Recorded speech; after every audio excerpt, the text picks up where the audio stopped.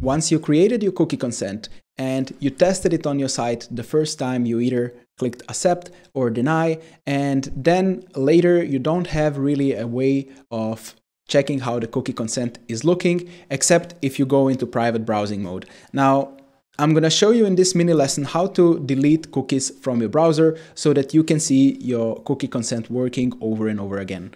To do that, we're to open the live site here. And as you can see, we're having this cookie consent. I'm to hit accept. And right now, if I refresh the page, you'll see that the cookie consent is not appearing. Now, this is a good thing.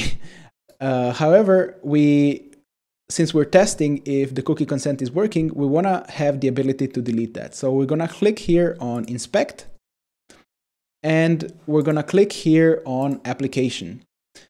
Right over here, you have a tab that says cookies. We're going to open this drop down over here and we're going to click here where we have our URL. And as you can see, we're having three cookies here. We're having the Google Analytics cookies and our FSCC cookie.